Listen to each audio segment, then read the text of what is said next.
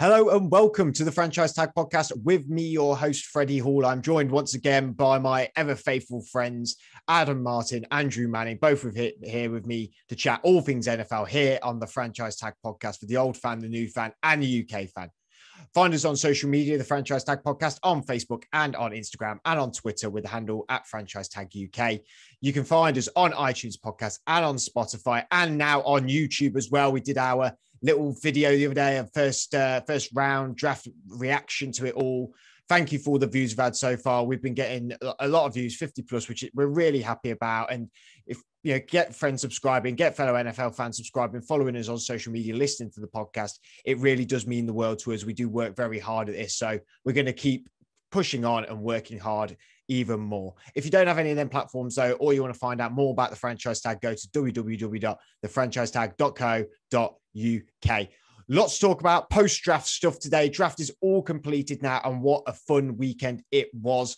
Now we are on the very long wait, the slow build till the start of the NFL season, which is September the 9th, which will culminate in uh, Thursday, September 9th. That'll be on uh, going into Friday morning. It'll be Tampa Bay, the reigning Super Bowl champions, against what could be uh, maybe the New York Giants, Andrew, or the New Orleans Saints, the Miami Dolphins, the Dallas Cowboys, the Chicago Bears the Carolina Panthers, the Buffalo Bills, or the Atlanta Falcons. That is all the home teams they are playing in the 2021 season. So it could be any of them. We'll be finding that out on May the 12th when the schedule is being released for the NFL season. There is definitely some dates that I'm eyeing up, and uh, also maybe some fixtures we're eyeing up that could maybe be London games. We never know. We'll have to see on May the 12th when the schedule is released. We are going to be talking a lot about stuff during the draft, a little bit of draft topic, and uh, some other bits and bobs as well. I mean, the latest news today is Alejandro Villanueva, former left tackle of the Pittsburgh Steelers, has signed with the Baltimore Ravens on a two-year, $14 million deal with 8 million guaranteed. And also uh, the defensive tackle for the New York Jets, Quinnen Williams, he has had a small break in, uh, in his foot but he'll be sidelined with surgery uh, for eight to 10 weeks. So he should be healthy for training camp. I mean, if he gets surgery this week, he should be back for 19th of July. So it, the New York Jets are not going to miss out on Quinnen Williams. But we'll dive right into it. We're going to go right into it. We're going to talk about the story that surrounded the whole of the 2021 draft. And no, it wasn't Trevor Lawrence. No, it wasn't who was going in the draft or anything like that. Flicking through my pages here of notes, as you can see, it was all about Aaron Rodgers. The Aaron Rodgers, Adams' main guy, the Green Bay quarterback for so long. Aaron Rodgers, there is so much rumor about him wanting to leave the Green Bay Packers. This gossip, I feel, really dates back to the 2020 draft which is when the Green Bay Packers moved up to go and get quarterback Jordan Love, who who it was crazy to all of his fans, NFL fans and Green Bay Packers fans at the time. And uh, in answer to this, is, is uh, uh, Aaron Rodgers had an incredible season last year. He said, I don't care if you drafted Jordan Love. I'm going to go out and show you why I am the Green Bay Packers quarterback. He was the MVP of the regular season. He had 372 completions, 4,299 yards, which was seventh in the NFL, 48 touchdowns, which was the number one in the NFL, and five interceptions, which was joint 33rd. So low, low, low. I think he was joint with people like Joe Burrow, who didn't even play for half the season. The Packers then went on to go 13 and 3 in the season, winning the AFC North, then beat the LA Rams in the divisional round 32 to 18, but then lost to the Tampa Bay Buccaneers 31 to 26 in the NFC Championship. Um, Brian Gutekunst, the GM for the Green Bay Packers, says he will not trade him. I will not trade Aaron Rodgers. And um, it's it's been reported that Rodgers w- won't go back to Green Bay unless Brian Gutekunst, the GM, is fired. Uh, however, Gutekunst has refuted that and has said that's we haven't had a conversation about it. That hasn't happened. Um, the feeling around this team is that the team isn't committed to Rodgers. Therefore, Aaron Rodgers isn't committed to this team. That is one avenue of thinking. Um, we might as well start with our resident Green Bay fan about this issue. He will know more than me and Andrew, even though me and Andrew have teased and prodded and talked a lot about it as well with Adam. Um, so Adam, what what is going on over in Green Bay, Wisconsin? Um, I think personally, I think it's just it's they're both at loggerheads, and no, nothing's going to change that. Um, it's now reached a point where it I think it it feels very very real that this is the beginning of the end now. Um, Rodgers feels that he's been wronged in a lot of different ways. Um, there's a lot of talk about them not giving him enough weapons. There's talk about them picking Jordan Love. There was the whole thing that came out on um, Pat McAfee's show about Jake Kumerow, where you know AJ Hawk was talking about how it was just the fact that you know Rodgers had come out and said that we you know I really like Kumerow. I want him to be you know a target for me, and the next day they released him. Hmm. So I think there's lots of things like that. the one thing that I would say is that Green Bay have worked the same way for years. Um, you know, back and you're talking like the 80s, 70s, even further back. They have a very simple method, and I think it's one that a lot of teams use. And we're kind of very much in the same situation as what Seattle is with Russell Wilson. The general manager picks the players, the coach plays the players and coaches them, and the players play the game, and that's the end of it. Mm. And so when it comes to having a say about who the players are on the team, I think they probably do listen to a certain extent, but whether they take much notice of the quarterback, no matter how good or impressive he's been over his career. And I think that's that's probably why they've ended up in this sort of situation. Um, like I say, I think it's going to be loggerheads all the way through the summer. I don't think anything is going to change. It's probably going to get a bit ugly. Mm-hmm. Um, and, you know, I suppose at the end of the day, Rodgers can decide if he's going to play in the NFL, but he can't decide what team he's going to be playing for. So, you know, that's up to the Packers. And they're saying they're not going to trade him, which I, I can kind of understand because it, it's not exactly a great look, is it? Trading mm. away the MVP. Mm. So I can understand where they're coming from. But the one thing I, I would say is that this kind of feels to me very similar to what happened with Carson Palmer. Mm-hmm. I think I think it's very much that kind of thing where he retired um, from the Bengals and then they traded him because basically he was retired and they didn't have a didn't have a choice.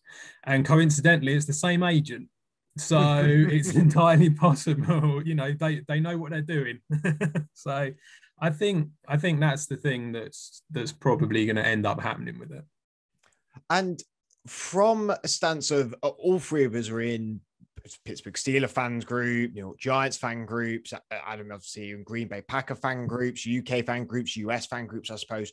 What's the general feeling amongst the discussion boards, the posts, the, disc- the comments underneath. I can imagine some are very um, conflicting with each other and a lot of uh, name calling. I can imagine as much as we don't promote that at all. You know, we are one NFL community. What is the general consensus and the feeling going around with the Green Bay Packer Nation? From the cheeseheads, the cheeseheads. From what I've seen, it, it's kind of it, it changed a little bit over the whole draft weekend. I think you're not going to find many Green Bay Packer fans who aren't going to love Aaron Rodgers, um, and they're going to want him to play. But the fact of the matter is, is I think he had a lot on his side, and then I think it was, I think it was Friday night. I'm not sure, but there was a report that came out that said he was threatening to retire. Mm. And that was the one thing that kind of made a few people go, well, hang on a minute, he's just sort of holding the team to ransom now. Mm. So I think that was something that didn't go down very well. Um, but on the whole, I mean, yeah, they don't want him to go because he's the MVP. Why would you want him to mm. go, sort of thing? But I, I think that because of the way that it is, like I say, nothing's really going to change. I think the one thing that I find that a lot of people think is they're just really, really fed up with this sort of media narrative that is constantly being dragged out that they that Aaron Rodgers is not getting any support because it, it really is just it's like it's such lazy reporting it's like it's just not true i mean okay they haven't brought in a wide receiver in the first round since 2002. Mm. Your Steelers haven't done it since 2006. Yet, where's the constant reporting for Big Ben? Chase Chase Claypool. Oh no, he's second rounder. Round of course, second rounder. Yeah, no first rounders. Yeah, yeah, you're yeah, right. This is what I mean. It's like it, it, just keeps going, and it's not like we haven't drafted people. You know, there's been lots of mm. offensive tackles, lots of wide receivers. Re-signed uh, Aaron Jones this off season. Yeah, exactly. So there's been lots in there, and then not only that, Davante Adams was round two.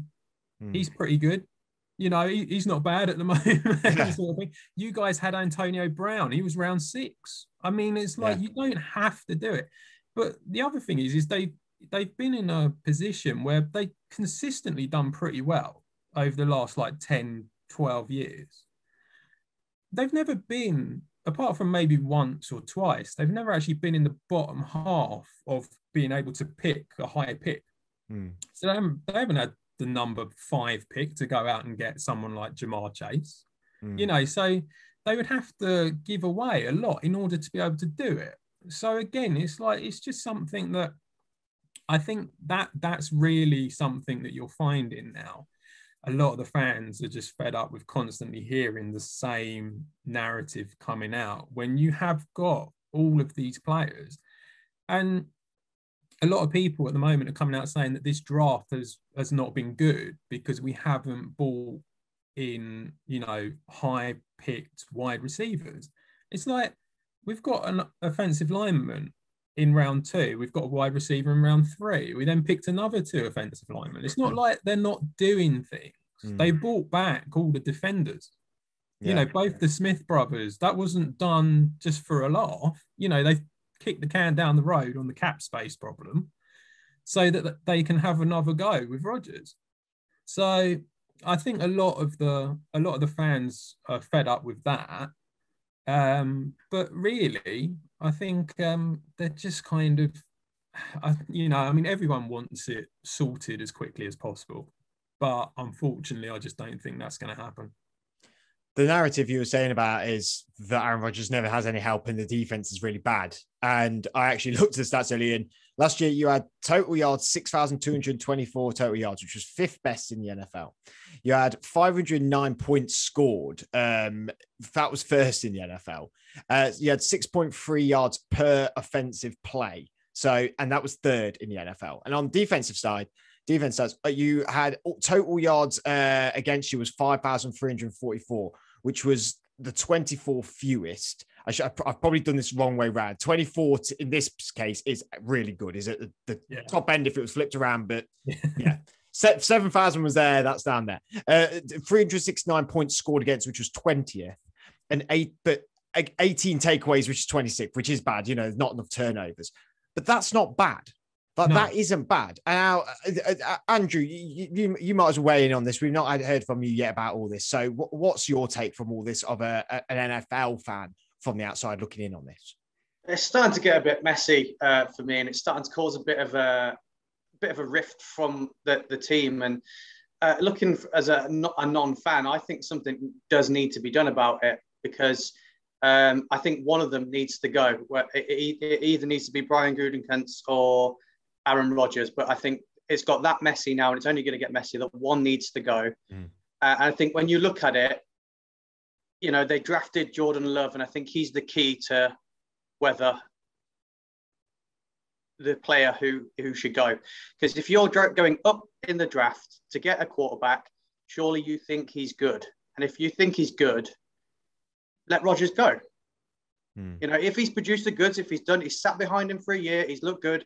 You know, get to what June the first when you can trade.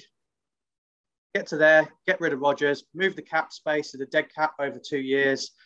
Jordan Love's the guy that you thought was fantastic, you know, supposed to be Mahomes like, you know, put him in. He's going to go into a great team already. It's not as if you haven't got a good team. It is a fantastic, it's a good defense. There's lots of weapons on that team. Uh, and if you are going to be protected as a rookie, if well. you are going to trade Rodgers, then you know you're going. Can I have some first round picks? Can I have maybe a receiver? You know, you go. What you're looking at? Denver and Raiders are the two ones that coming out. Going, can I have one of your receivers? You know, you strengthen your team. But if Jordan Love isn't the guy and he's not performed in training camps, and he's not looked good. You know, playing. Uh, we haven't seen any film on him. We haven't seen any tape, and he's not. And the then the organisation are not happy with it. Then it's Gutekunst that's got to go, and Rodgers is right. You've got to get rid of him. Uh, he's made. He's he's caused this rift by doing this. So um, that's my view on it, and I feel really, really sorry for Matt LaFleur because I think he, I hmm. think he likes Rodgers, and uh, he's just been caught in the middle of it, which is such a shame. Um, so, yeah, that's kind of my view on it. So, um, yeah, if if it was me and Jordan Love is the guy that we saw at college, you know, then what have you got to lose by getting rid of Rodgers? What is he, 37 now? Yeah. You know? Well, I, I, think, I, I feel sorry about Jordan Love for this in all this.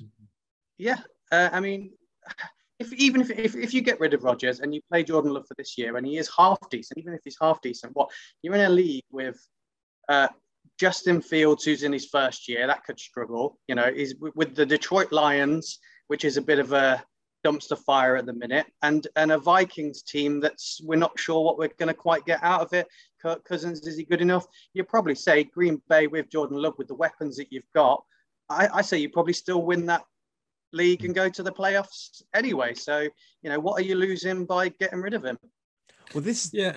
Sorry, I, I, before we, before you the only the only issue with it is that they've bought, it. like I say, they've bought everyone back and they've mm. sort of kicked the can down the road on because the, they were in a cap space problem and then next year they're going to be in a bigger problem because of what they've done. So I think that's the that's the feeling why they probably they, they would love Rodgers to stay another year because and then it kind of it works out on the contracts in order to you know maybe trade him then and I think that's it if, in from the team's point of view that would be like the perfect scenario and unfortunately that's just not going to happen man.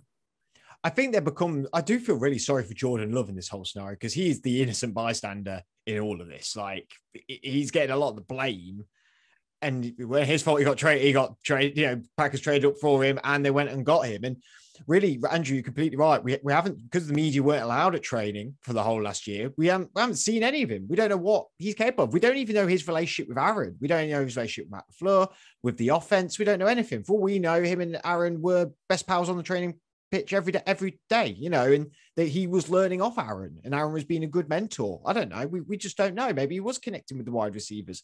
Maybe he wasn't. Maybe he was overshot in throws. Maybe he wasn't looking as athletic.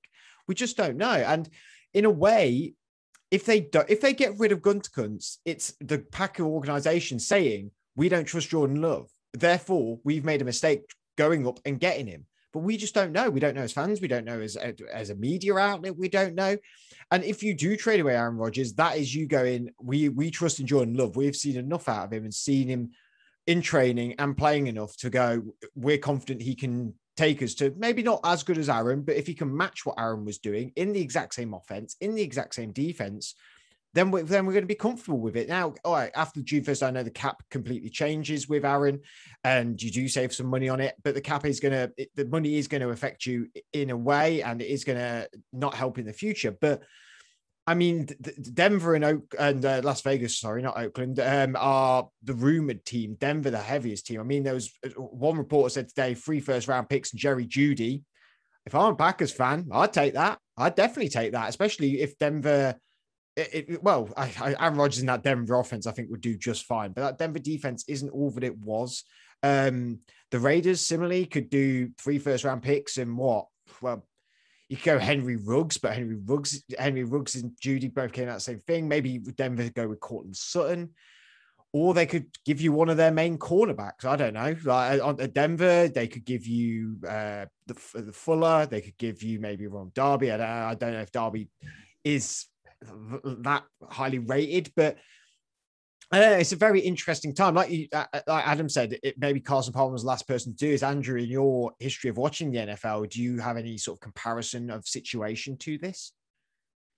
Well, it's. I mean, the Packers have got had issues with quarterbacks in the past. You know, they had the issue with Favre um, in in a similar circumstance. They they messed the relation up, relationship up with him. He had a bit of beef with Rodgers, you know, he ended up saying, you know, stuff it, I'll just retire.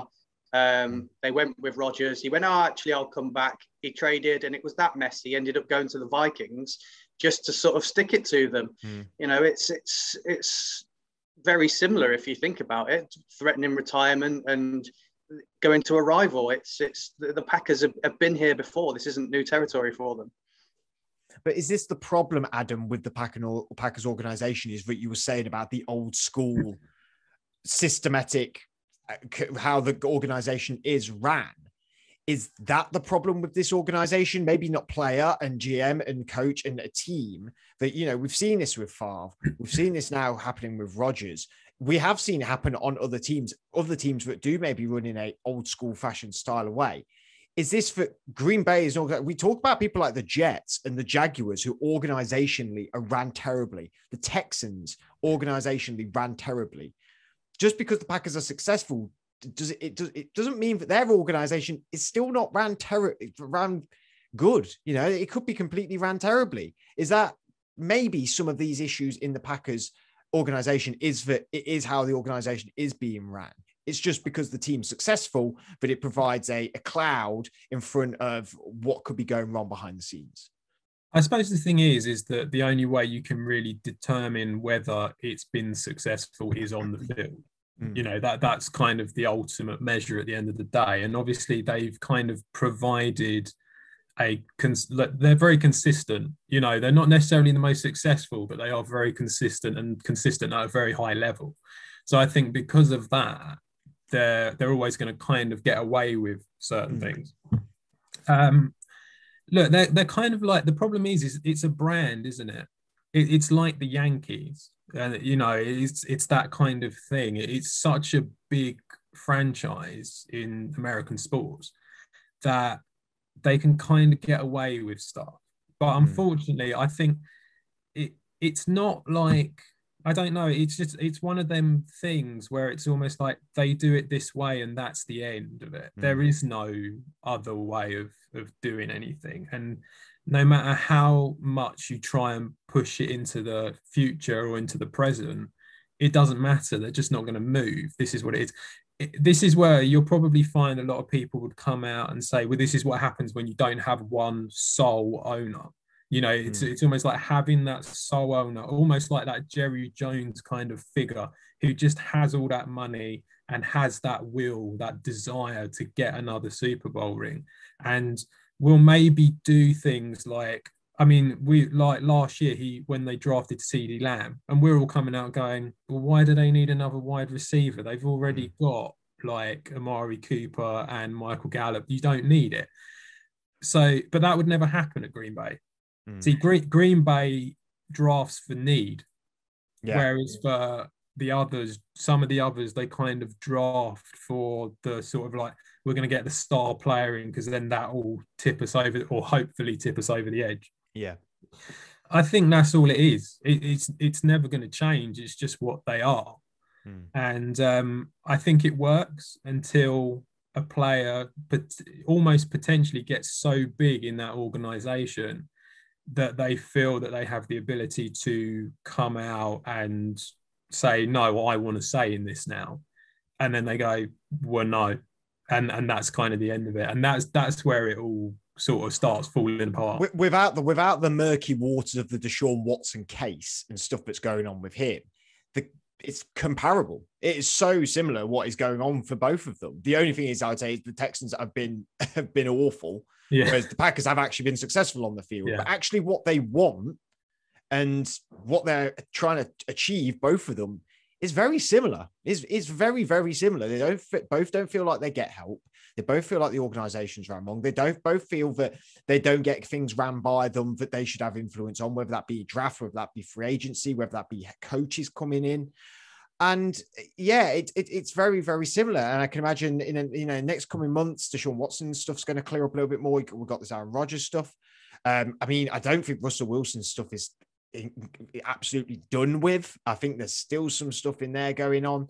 There's still lots to happen with these quarterbacks, and there's, and like I say, it's very murky waters at the minute for a lot of these players and uh, for these quarterbacks. Ultimately, if if it does happen, Andrew, it, it, it could be the Raiders, could be Denver, but who would you like to see Aaron go to if it happened? I mean, uh, Can't say Giants. Don't say the Giants just because I know. Yeah, well, I have, I have seen that. them. I have seen Yeah, that they have been talking about it. Yeah, yeah. Really? Um, Yeah. yeah. I was going to send it into the group. I thought, come on, that's not Well, going to happen. could you could send yeah, but you could you've got two first round picks next year. You could send both your first round why, picks why next would year and why- one we've got such a young team and we're building so well? Why would we want to go for a, a 38 year old quarterback? Just seems a bit silly uh, and a Hmm. bit backwards um, for the Giants. So, um, I, you know what? After seeing what people are saying, I would like him just to go to Denver so we can see that Mahomes versus Rodgers uh, twice a year sort of thing Hmm. that's been going buzzing around social media a bit. That would be exciting, wouldn't it? So. Um, More exciting than Rodgers v Goff, Rodgers v Cousins, Rodgers v Dalton. Then maybe Rodgers v Fields. So, yeah, that'd be interesting for a couple of years. I would like to see that. Uh, they'd both be two strong teams as well with those quarterbacks. So that would be interesting. Other than that, I, I would like to see him go to a rival. You know, it just makes a bit more drama, a bit more fun. Oh. Aaron Rodgers in Detroit blue. Thanks for that. Yeah. Well, that's uh, Adam's nightmare set up for the evening. Um, so, right, we, we've done Aaron Rodgers. We've done it to death. We understand what's going on. That let's go on back onto back onto draft stuff because lots have happened over the draft. We talked about our reaction video uh, that happened in round one. That's still on YouTube for you to go and see. Just half an hour video. Real good fun that was. And uh, we're going to talk. So we've seen a lot of draft grades. And I like, I don't mind watching them, but quite frankly, they're a bit dull. That we, we, we had an idea of, of doing the grading for each team, but it's long winded, it's a bit hard. So we've just done winners and losers. We've not, we're very simple, lot simpler than doing all the grades and going through each of the picks and things like that. But so we're going to go back to the 2021 draft, even though it was just days ago. I mean, people still reacting to it, people still putting their 50p in about which teams did well, which teams did good and and so have we, and, and we're going to do the same as well. But you know, hopefully a bit more fun to it. So uh, we're going to talk about the winners and losers of the draft. So winner of the draft for you, Adam. Who did you feel had a good draft night? Uh, so I kind of I had two that I was a bit like mm, don't know which ones to go for. Um, I, I actually think it was really difficult to lose in this draft. Like, personally, I felt it was quite It was so Still. deep with talent. Yeah, So all the way down to the seventh, there were still Yeah. still names going. Yeah, especially um, like I, I kind of felt like in, with offensive tackle, there was a lot of deep talent in that. At corner, it was actually a little bit more than what I thought it was. Um, wide receiver was another one, so there was quite a lot. Um, I really like what Cleveland did, um, but the one that I've gone for in the end is Miami. Um, I just feel that they've brought in a lot of pieces to help Tua and they've they've done really well in showing how to build a team and right by constantly trading bringing in more picks i think it's really shown that with a gm like they have there how you can build a team very very quickly and and be a team that's going to be quite potentially very successful in the future i think jaylen waddle is exactly the type of receiver that they need uh, he's going to be quick. He's going to be speedy. That's everything that they need. They're going to have Parker on the other side, so I think that's going to be great for them. Uh, Jaelan Phillips is uh, is another good defensive edge rusher, which, to be honest, I felt was probably their weakest point on their defense. I, I think he's someone who could be very, very good. I was a little surprised they went for Jevon Holland at safety. I thought they probably needed a safety, but I was a bit surprised they went with him but at the same time, I can kind of see why they've gone for him. Um, and then you've got a really good, like NFL ready offensive tackle in Liam Eichenberg, who is just literally he's versatile across the line and ready to go, um, which is exactly what Brian Flores wants.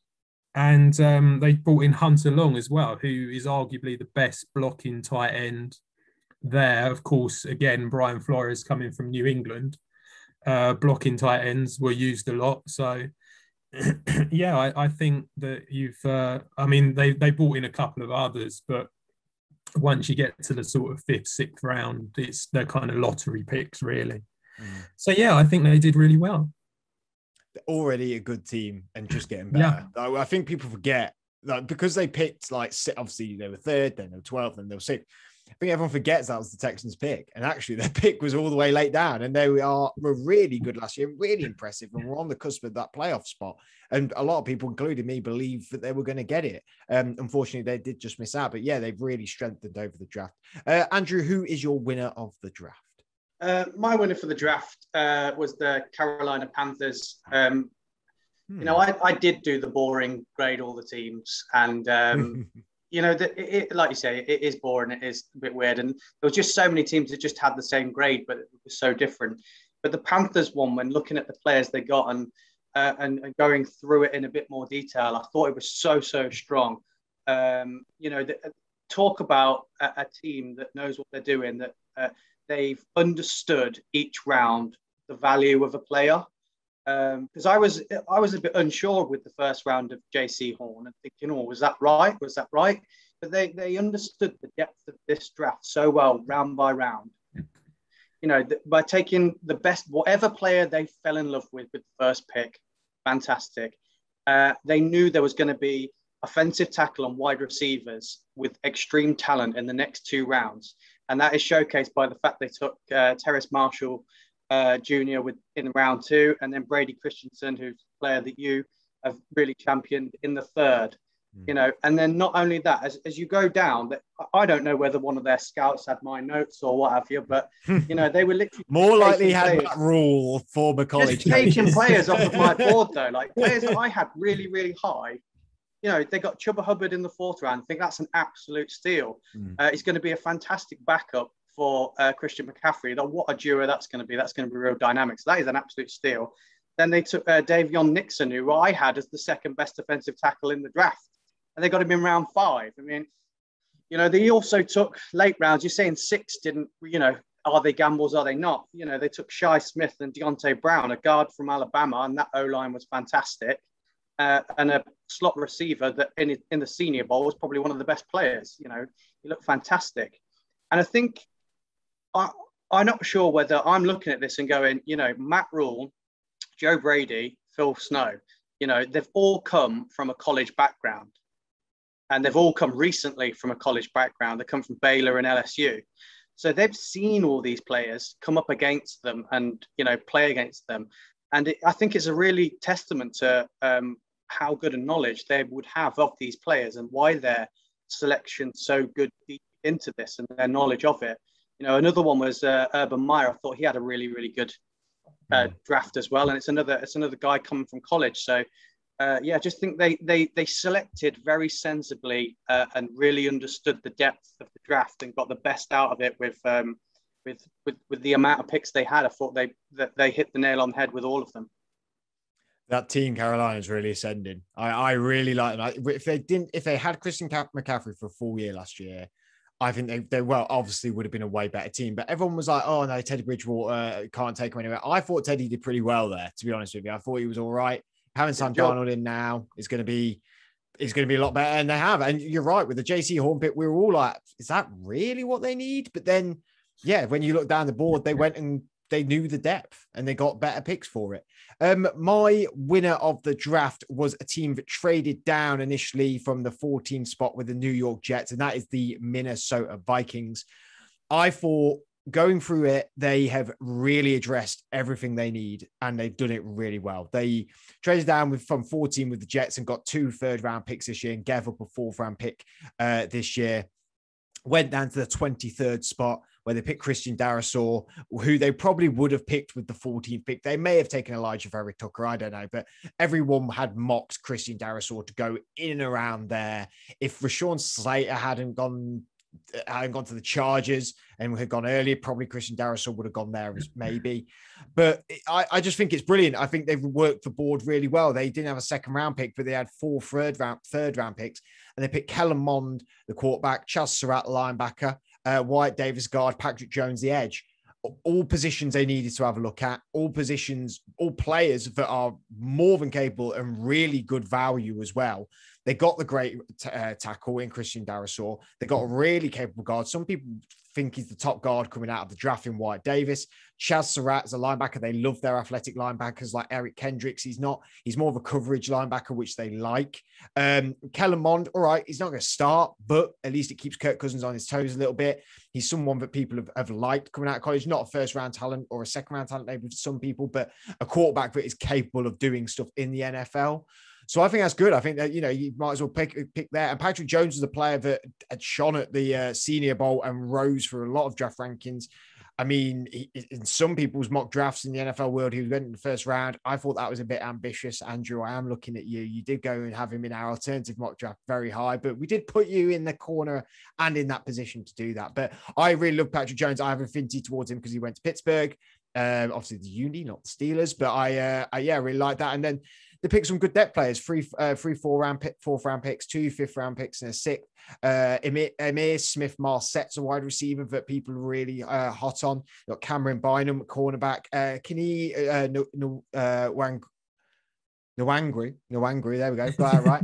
it was like we nearly had an Azeez Ojulari moment there, didn't we? um, uh, running back, okay, I don't think they maybe need him and maybe they uh, drafted him a bit high, but got Zach Davidson in the fifth as well, tight end. I mean, they need a Kyle Rudolph replacement. Obviously, Irv Smith Jr. is going to be starting, but I just think top to bottom, they, they've actually picked really clever and they have not took maybe the shiny picks but the picks that will fit in that team and they've I, th- I think all these picks have made their roster a lot better already um same for the panthers and same with the uh, with the miami dolphins all them picks i think are going to make these teams a lot better very quickly um right let's talk about the uh the losers of the draft. So, Andrew, who did you think had maybe a bit of a poor draft? We don't know what these players are going to be like for these teams. Let's put it out there. But these players could be very successful for their teams. But on the outside, looking at positions of, of maybe positional of where they took them. I mean, some of these guys maybe went and SIP could be first round talent guys and people who went the first could never play again. You know, look at the Tennessee Titans last year. So who who do you think was loser of this draft? I mean, again, looking through it all, and uh, my first thoughts was this team didn't do well uh, after seeing everyone else's grades, everyone's got them at like a, a, B, and I'm, I'm baffled at why people don't think they were a loser in this. Um, and that's the Houston Texans. And I know I said to you guys earlier, it's going to be very easy to pick on them, and you know, should I? But when you really, really look into in deep of what they did in this draft and why, for me, it was a loss. Uh, they took a quarterback in round three. Um, and, and they took a quarterback that's got notable knee injuries, played only 13 games. Yes, he's a great NFL size. Yes, he has an absolutely fantastic arm. But one thing you read everywhere about him is he's got a below average mobility. We all know that doesn't work in the NFL anymore. And when you look at the types of people that were still on the board at that time, if they did want to take a quarterback, you know, Newman was still on there, who is is it fits the bill. Like we spoke about him, Adam spoke about him. He would fit that system a bit better when you've got a playbook that's designed for Deshaun Watson and possibly Tyrod Taylor. You know, looking at those playbooks, they don't suit uh, Davis uh, Mills. Uh, so that was a real shock for me. And also, you're probably going to be the worst team in the NFL this year. So you're probably going to get a round one first pick next year. So take the hit, play Tyrod Taylor. You know, if you like, go out and get Blake Bortles or Nick Mullens. They're both free agents. Put them in for a year. You know, next year you can get an absolute star quality. So I feel that was a wasted pick in round three.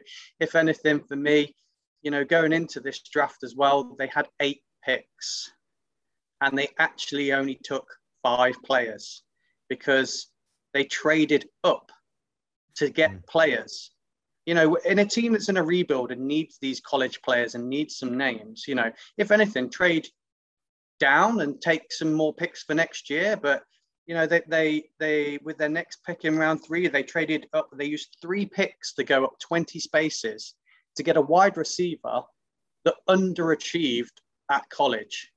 He was a five-star like recruit and underachieved. Mm. You know, looking at the we've all spoke looking at the the depth of the wide receivers in this draft, did you really need to sacrifice two picks this year and a pick next year to move up to a wide receiver? is he going to impact them straight away? Is he one of those players? I don't think so.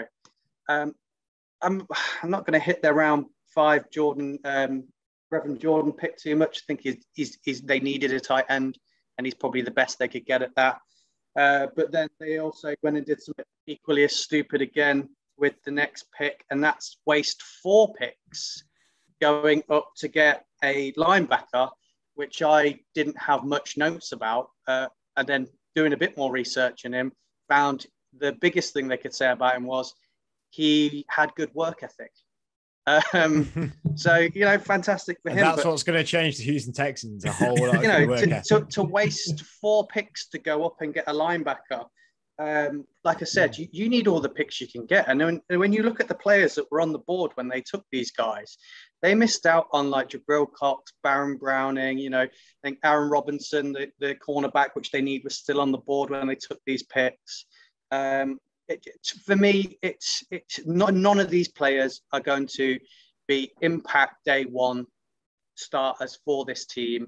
So I, felt like they've wasted their opportunity and they should have um, used all the picks they could use and get some, you know, hit and miss players. Just you know, get them all in, see who's good, see who's not, and then next year, when you know you're going to have a first round pick, you know you're going to have a round two pick, go for it then, and just take a hit on the year uh, and roll it with the youngsters that you got with with with your eight picks that you could have had. Yeah, it's, it's, it's sad days in Houston getting even sadder. I, I agree. It's not so much they didn't have any picks; it's they just weren't wise with the picks that they had. Um, Adam, for you, who was the losers of the draft? Um, I do kind of agree with everything that Andrew said. I just kind of felt like we couldn't all say the same one. Uh, We are Um, now finally correlating our information, so we don't do that. uh, I went with the Raiders because I love nothing more than giving the Raiders a bashing. And karma will probably come back to me, and Aaron Rodgers will end up there. But that's not the point at the moment. um, yeah, I felt the Raiders uh, just strange, very strange choices. Um, I think we both had Alex Leatherwood quite high um, as offensive tackle, but the way that the board fell, it felt like a really weird choice. Uh, Christian Darrisaw was still there. That to me is just bizarre as to why you would take Leatherwood there. So I I, I like Leatherwood. I think he's you know good offensive tackle, but it just felt like a bit of a reach uh, in that case. They then went and got uh, Trevon Moehrig, which you know we've all been saying for ages, best safety in the draft. Uh, apparently, the reason he dropped was that I think there was some injury concerns. He, I think he did he have some sort of surgery or something that some of the teams weren't quite sure about. Um, and that was how come he dropped a few, you know, behind like Jevon Holland and stuff like that. So you've brought in a really good safety. So what you then do is bring in another safety, um, which is really weird because you've got Johnathan Abram there. So you've Mm. got two good safeties. So now you bring in another safety. It's a, a strange one. He played in the MAC. Uh, that was Malcolm Koonce, I think his name was. He played against poor opposition in the MAC. Um, and it, it just felt a little bit weird. But then to really finish it off and make it just that even weirder thing, they then went and drafted a third safety in the next round in Divine Deablo. And you just sort of think to yourself, what are you doing? Like, why are you doing this? We, uh, before the draft and after free agency, we were all coming out going, they need O line, they need D line. You know, that was what they needed. I know they brought Leatherwood in and they did bring in a defensive tackle a little bit further later on in the draft. But it's just a really weird thing to then go and bring in three safeties. And it, it's just like, why? You know, why? Why? it is strange. It's it strange. just doesn't make any sense. And I think for that reason, you sort of think, you know, Gruden's in his fourth year now. Mayock's been there as well for that time. You do sort of start thinking to yourself, okay, well, if they're not going to get rid of Gruden because he's on such a long contract, you know, this is the second year in a row now that May- Mayock brought in Henry Ruggs and it didn't really work. And now you sort of see this as a draft and you sort of start thinking to yourself, I can't see this working. It doesn't make any sense. And they still have holes. They've got loads of holes in that team. Mm. And you just sort of think it's a very weird thing to do. And that was why I picked them really. yeah, free safeties. That's uh, and getting rid of how many offensive linemen is a really odd draft for the Raiders. Um, my losers of the draft is it's going to be an unpopular opinion this one because they're a good team. Um, but when I actually looked at their draft, I was like, uh, you've not really answered any questions that you have over your team, and you've not filled the holes. And that was the Indianapolis Colts. I I don't think I think what we're surrounded by is they took Kwity Paye with the 21st pick. And yeah, it was a really good pick. Like it was a really good pick. I don't, they do need an edge, but did they need an edge that much? Their biggest problem is left tackle. And they've not addressed it. They got Will Fries, the guard, in the seventh. Uh, with the second pick, they put De- uh, got Dayo uh, Odeyingbo, uh, a defensive end. Uh, in the fourth, they got Kylen Granson, tight end. They've already got two tight ends. I know they're older, Mo Alie-Cox and uh, Jack Doyle, but they've got Shawn Davis, safety in fifth. Mm, uh, he could, he's probably not going to start. The defense, the defense isn't a bad, isn't bad for the Colts. Um, Sam Ehlinger in the sixth. You've got Jacob Eason uh, behind Carson Wentz. I don't really see nothing screams here to me like that these guys are going to be difference makers. And you know, on the board was Christian Darrisaw, Teven Jenkins, Liam Eichenberg when they took Kwity Paye. And I'm not saying Kwity Paye wasn't a good pick. I think it was, but I don't think defensive line pressure was really a problem for the Colts last year. That's what they were good at. They were good at linebacking. They were good at pressure on the quarterback, and they were good in. You could uh, Rocky Ya-Sin, Kenny Moore, and um, Xavier Rhodes are the core, main cornerbacks there. Xavier Rhodes is out of renaissance there, so they could have easily taken a very good cornerback here, or in the second. I, I just don't. None, none of these picks go to me that did, you didn't really need to pick them. Like you didn't need to focus on them positions, and still you haven't got left tackle. Now there is rumor uh, that Quenton Nelson's going to play there, but then you need a left guard, and I, I, there's no guard on here of Will Fries going in the seventh. It's going to be worthy of going there. I mean, a lot of Colts fans have gone well, you know, if Orlando Brown was being traded, why didn't we have a look at it? And they they really they really should have probably because it was it was a pick, it was a player out there that they really could have uh, done with uh, since the retirement of uh, Anthony Castonzo. Not a bad draft of players, maybe, but just not really taking players that they needed. I just don't think Kwity Paye's a good pick, but did you absolutely need him? I'm not sure. Um, yeah, I, I, it's not. I, I really like the Colts as well, so it's where I feel. I mean, obviously, the Colts are a good team, so people are like, well, no, the good teams obviously have good drafts, but good teams can have bad drafts as well, and they they haven't had a good draft in my book. Yeah, it's it's a strange one because obviously, like um, you know, Kwity Paye is was a really sought after guy, um, but like you say, not necessarily the need that they desperately need mm. they were after. Um, I don't know. Maybe they just went for best player on the board at that point, and that's why they they've gone for they, it. They could have shot the pick. To be fair, they might have shot the pick and no one was nibbling for it. I, I just don't know. Andrew, obviously your dad's a, a, Colts fan, so I didn't know. Obviously, I have a very good relationship with uh, Trev, your dad. Shout out, big shout out to uh, Big Trev, very uh, a, a, listener always of the F tag. Um, what what's his feeling about it all? Yeah, I mean, obviously, I follow them a bit more than the other teams, with my dad being a big fan as well. Um, and yeah, I mean, I like the I like the Paye pick. I've not got no issues with that. I do think that's that's you know they are strong on defense, and that's a big, big, big help to them. I think he's going to be a, a day one starter for them. But then when you look at that, he's the only day one starter for them. Um, I think a lot's come. I think they've um, Jim Irsay said that he's not going to move Quenton Nelson now, um, and he's going to leave him at guard. Uh, and apparently he's shifted a bit with um, is it Sam TV Heavy? Uh, mm. You want to pronounce his surname? That they brought in free agency, and they reckon that he's the answers to their left tackle. But for me um, and my dad, when you're bringing in Carson Wentz as your quarterback, uh, you cannot risk him getting yeah. hit and sacked. It, it, was the one. It was the number one thing that my dad said he was like, well, if he wasn't happy with that Carson Wentz being the pick, but he went, if we're going to go for him, that O line needs to be solid and he needs to have time and then he'll do well. because uh, he says if not, it's a failure. You know, another year down the drain, everyone's getting older again. Um, so yeah, the, for them not to address even just depth at that O line in case of injury, um, it, it, seems a bit odd.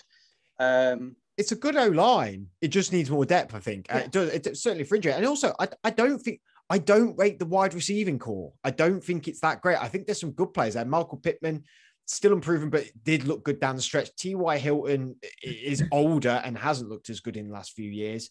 Um, Parris Campbell was injured a lot of last year. Uh, Zach Pascal is, is up and down, and, and they went for Mike Stra- uh, Strahan in the uh, in the seventh. Uh, it could be Mike Strachan or Mike Strahan. Mike, obviously, Mike the, the great Mike Strahan, but um, yeah, I just it just was not not right for me. Um, right, let's move on to maybe something that's a little bit different. Adam's going to be talking about the early look of the odds and stuff for the offense, the rookie offensive player of the year and the defensive rookie player of the year, and maybe a bit of who me and Andrew and Adam think might win the award as well. So, uh, Adam, take take it away, my friend. Yeah, so this is like mega mega early. this yeah, this is so early. um, but basically, for the uh, offensive rookie of the year, you've got Trevor Lawrence, obviously favourite at two to one. Justin Fields is four to one. Zach Wilson at six is. Uh, Mac Jones is seven. If you fancy Mac Jones as the, okay. the uh, Kyle Pitts is the first guy, you know, non-quarterback at ten to one. Trey Lance is twelve. Uh, Chase is 14. Najee Harris for your Pittsburgh Steelers is 16 to 1. Uh, Devonta Smith, 16. Travis Etienne's 18, and then it's 20 to 1 after that or bigger. So, mm. who'd you fancy? I mean, I would love to say Najee Harris. Like, I would love to say that because I do think he is going to be spectacular for the Steelers. And I, I, part of me is like, it's always a quarterback. It always seems to be a quarterback. But there, we were all talking at the end of that season. Justin Jefferson could be. It could. It was between the two Justins. It was Herbert or Jefferson, and it was 50-50 to a lot of people. For me, it was Herbert. I thought that Herbert has absolutely transformed that uh, franchise, but I can see why Justin Jefferson got as well. So it wouldn't shock me if outside quarterback would get it. The only one situation wise who I think could have that bigger impact impact yards and touchdown wise because that's all it is really on the on this player of the year is, the stats really I think. And there is yeah. a bit of influence of how well they do with the team. Mm-hmm. I, I think I think he'll be Jaylen Waddle. I, I, I think I think out of the wide receivers I just don't think DeVonta Smith's in the right situation. I think he will get a lot of targets but the team's not good enough for him to be getting crazy amount of touchdowns or yards. I think Ja'Marr Chase is fantastic and is probably the best wide receiver, but there is so many other targets there.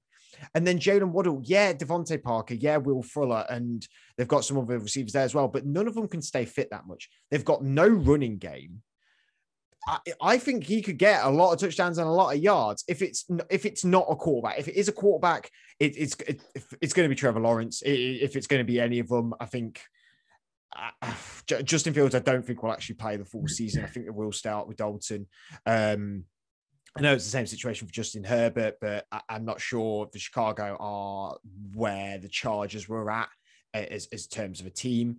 Um, Zach Wilson, I think it's rookie year, rookie coach. Um, but then again, rookie coach Urban Meyer and Trevor Lawrence. But Trevor, is Trevor Lawrence the talent that he has? He could he could really go all the way with that. If, it, if it's going to be outside of quarterback or uh, outside of quarterback, if it's wide receiver, running back, or tight end in Kyle Pitts, it's got to be about yards and touchdowns. And for me, it'd be Jaylen Waddle. What about you, Andrew? Um, yeah, I'm going to rule out all of the wide receivers uh, just based on it, the season that Justin Jefferson had. If you can't win it with those stats that he's putting out. Mm. It, they're that not the problem. They're not punting for wide receivers, and I think um, it's going to be very difficult for any of them in the teams they've gone to with the other wide receivers they've got to maybe get close to what Justin Jefferson achieved. Uh, I think they they might, but it's going to be difficult. And you know, I, so I'm going to rule out all the wide receivers. Um, then looking at it, looking at you know, quarterback is always the favourite to go for it. I don't think any of the quarterbacks other than Lawrence would probably have a shout. Um, I think Lawrence, Lawrence just needs to be competent, have a good completion percentage, you know, not do anything stupid, and he'll probably be in the running to win it just mm-hmm. off of that. We need Justin Herbert didn't win a lot of games. His stats were good. Uh, so um, Lawrence doesn't need to win a lot of games. He just needs to play like an NFL uh, quarterback, and he'll be fine. I think um, Fields won't get enough game time this year, and I think Lance again won't get enough game time, and I, I think Wilson's going to struggle uh, for the first two years at the Jets. Um, you know, not not to say he's going to be bad. I just think he'll struggle. So for me, looking at a position that is going to stand out, it, has got to be Kyle Pitts. It's slightly different with the with the offensive rookie of the year to the uh, offensive player of the year because you know I thought uh, Travis Kelce deserved it last year. I thought he was hands down, and a, no, a tight end can't win that for love nor money. But mm.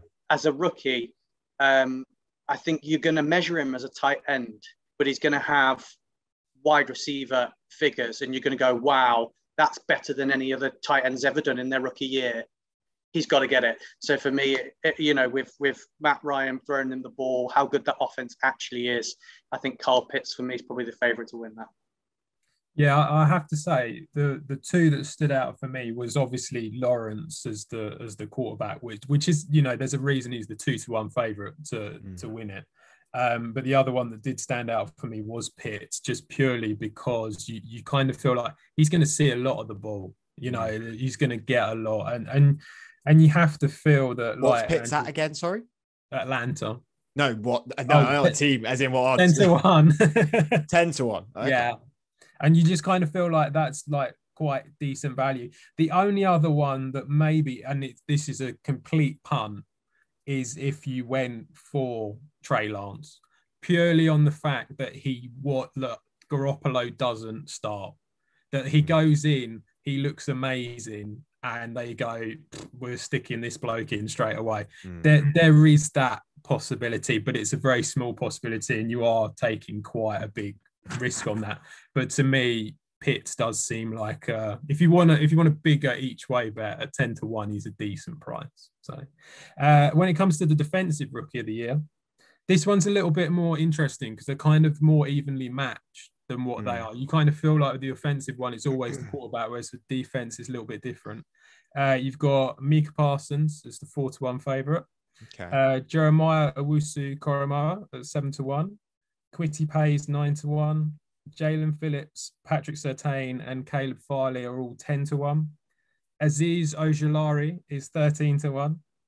Uh, Zaven Collins 14, Jaycee Horn 15, and then it's 16 to 1 or more for anyone else. But if you want Gregory Rousseau, Andrew, just for you, if you want Gregory Rousseau, he is 22 to 1. He'll take that. I know he's like, he'll take that. He'll put a tenner on that. I know he will. Um, the big thing about defensive rookie of the year, again, stats wise, is interceptions and sacks uh, or tackles for loss. So it's going to be a corner or an edge. to pin one down. It's interesting I, you say that. I'm not sure. The, the interesting thing you say about that, though, is that Micah Parsons and Jeremiah Owusu-Koramoah, the two favourites, are both. Which is strange. We, I'm I'm shocked about that. I think that situation over anything. I mean, that situation. I think him being at the Dallas Cowboys to people who want to bet who don't actually have a clue about NFL, they see the name and think, oh, well, he's just going to be a good player because it's Dallas Cowboys. Cleveland Browns, admittedly, but, you know, they are on the rise. I, I just don't, I don't see them both doing enough just yet. I don't know. I, am not sure. But it's weird with like Patrick Surtain. There's so many other cornerbacks there. Does he get much? Jaycee Horn is probably now a starter. Is he? Uh, Caleb Caleb Farley's a good point punt for the Titans. To be fair, that would be a good one to go for. I I don't think Jaelan Phillips is bad for Miami either. They were a really good defense last year. He could really pressure and, and get some sacks there. I I'm going to hear Andrews and then I might decide because I'm a little bit undecided. Yeah, I'm, I'm in agreement with uh, Fred about the linebackers. I think it's difficult for linebackers to really outshine uh, edge rushers and cornerbacks in this. I mean, I thought uh, Patrick Queen was fantastic at the Ravens, and he, he, didn't, get mentioned. Get, he, he, didn't, didn't even get, get a mention uh, really last year for it. So um, it is tough for those linebackers to really showcase, you know, stats wise against the edge rushers, which is what they're going to go up against.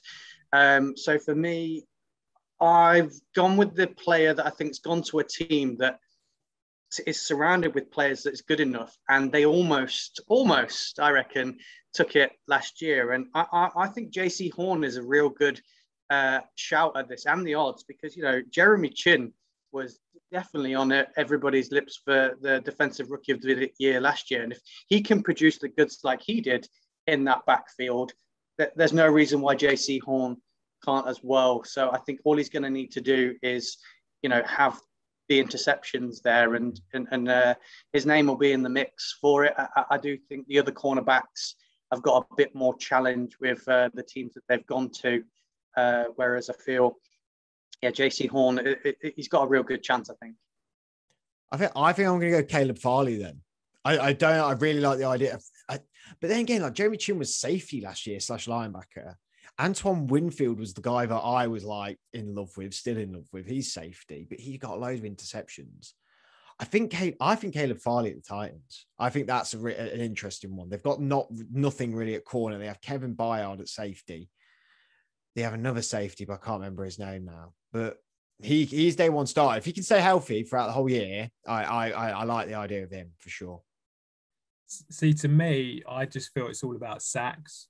I, I think yeah. It, it's something that it, it, has been a lot of the time. I mean, I know Aaron Donald is like this sort of like freak god, but the fact of the matter is, is it's because he's getting loads of sacks is the reason that he's winning it, sort of thing. So to me, I feel like it's about sacks, and also I feel like it needs to be in a team that's doing well. I think that's another thing that you, mm. they have to like look like they're doing well in a really good team, and I think that helps.